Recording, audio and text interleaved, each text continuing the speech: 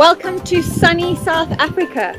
I'm Clarice, you're on the Live Ready channel, and I'm going to fetch some mussels for the campfire pot.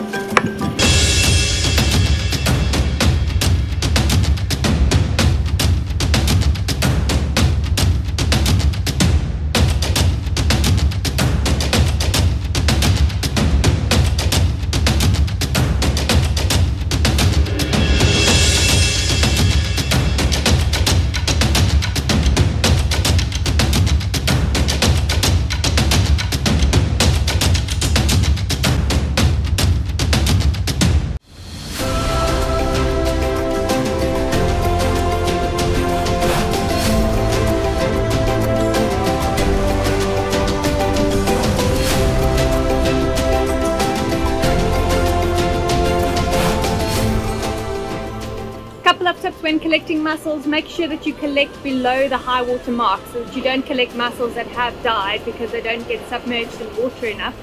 And another thing is watch out for red tides and ask the local people in the area, has there been a red tide recently?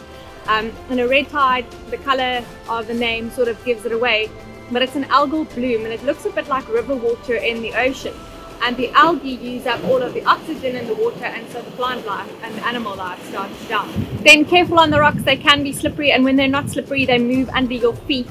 I've already had a tumble, sorry I didn't catch it on camera otherwise I would put it up for you guys. But um, anyways, yeah, just be careful when you're out there and watch the tides, watch the water, watch where it goes so that you are safe.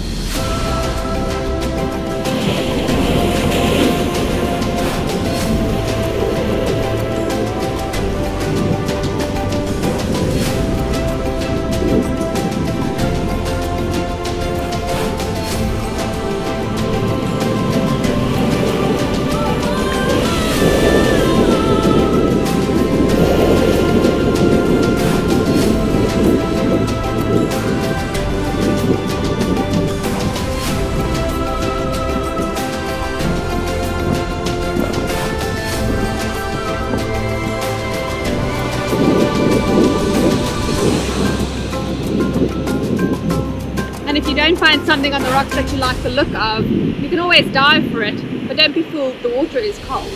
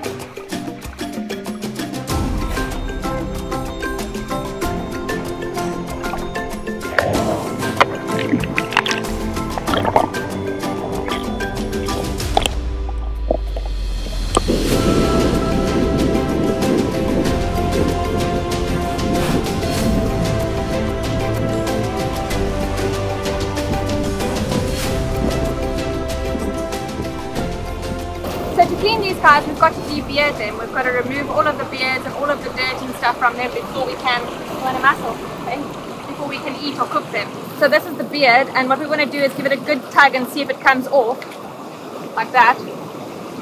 And if the mussel clamps down on it, then usually they are still alive, and they'll be good for eating.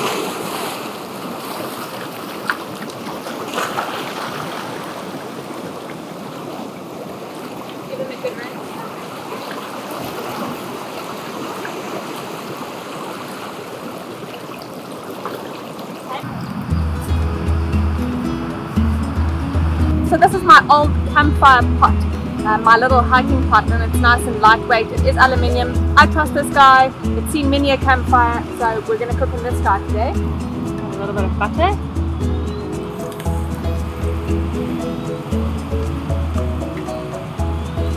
Half olive oil. Onion and chili because we like that.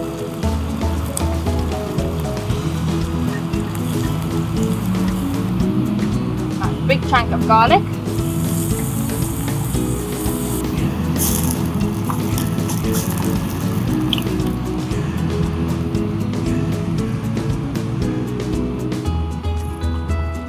A Sauvignon Blanc.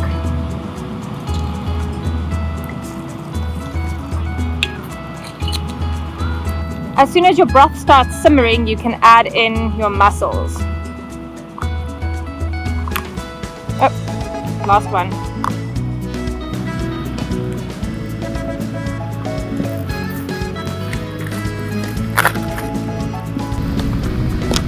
This one's starting to open. Adding a little bit of salt.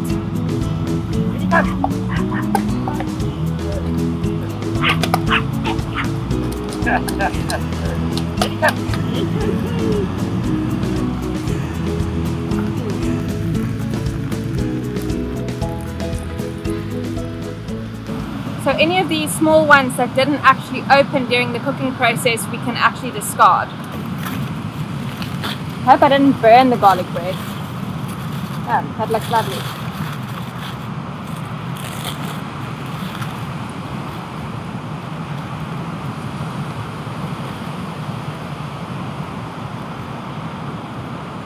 That looks perfect.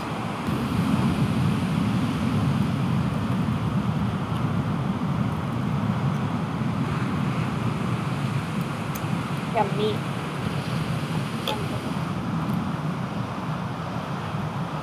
Mm. That's really good. Well, that's it from me. I hope you've enjoyed this video. Remember to hit like and subscribe. And until the next time, live ready.